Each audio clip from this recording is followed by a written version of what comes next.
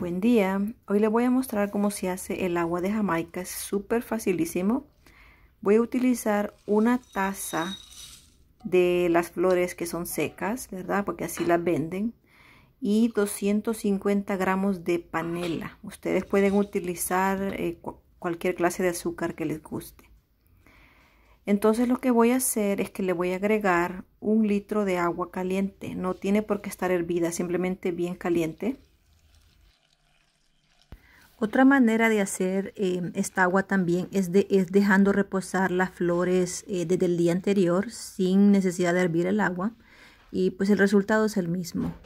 Si, quiere, si no quieren utilizar panela, pueden utilizar azúcar artificial para eliminar eh, pues la cantidad de azúcar y también en algunos países eh, se le agrega ya sea jengibre, lima, limón o canela para acompañar el sabor.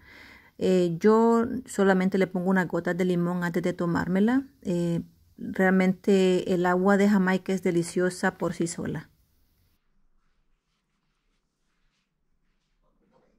Después de dos horas ya el agua se puso bien roja, la panela ya se deshizo también. Entonces lo voy a poner en una jarra y voy a pasar las, eh, las flores por, eh, por aproximadamente 2 litros de agua más. O sea, voy a agregar 2 litros de agua más hasta que veo que el agua ya no salga tan roja. Y luego le voy a agregar el hielo. Estudios científicos han, han dicho que esta agua es súper, súper buena para bajar la presión y para regular la diabetes. Así que pueden averiguar más en el internet y pues se puede tomar este jugo diariamente.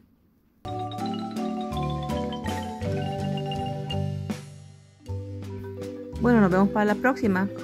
Bye bye.